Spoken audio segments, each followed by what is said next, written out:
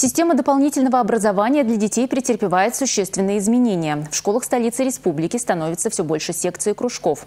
О возможности выбора финансовой поддержки говорили сегодня на еженедельном совещании в администрации города Чебоксары.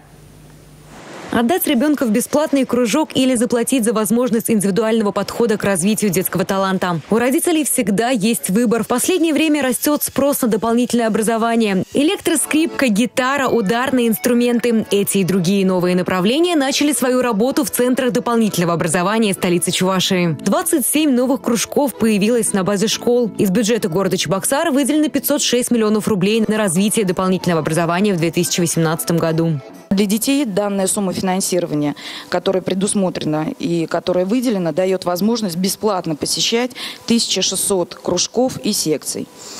В городе сохранена возможность выбора двух или более кружков одним ребенком.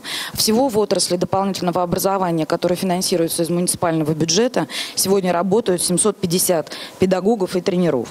Особой популярностью пользуются занятия по вокалу и театральному искусству. Они уже стоят в перечне платных услуг у каждого ребенка есть, должна быть возможность получения дополнительного образования. И дополнительное образование должно быть доступно. И родители, которые отдают в музыкальные школы, в спортивные школы своих детей, которые заинтересованы в том, чтобы было занято их свободное время, в том, чтобы они занимались только тем направлением, которое им нравится, выбирают, у них есть возможность э, пойти в платные кружки. Кстати, узнать все о кружках можно будет на сайте «Доступное дополнительное образование». На нем можно получить информацию о тематике, графике работы, возрастной категории. В базе три с половиной тысячи различных секций, как платных, так и бесплатных. Сайт начнет работать с 1 февраля. Записать ребенка можно будет, отправив электронную заявку.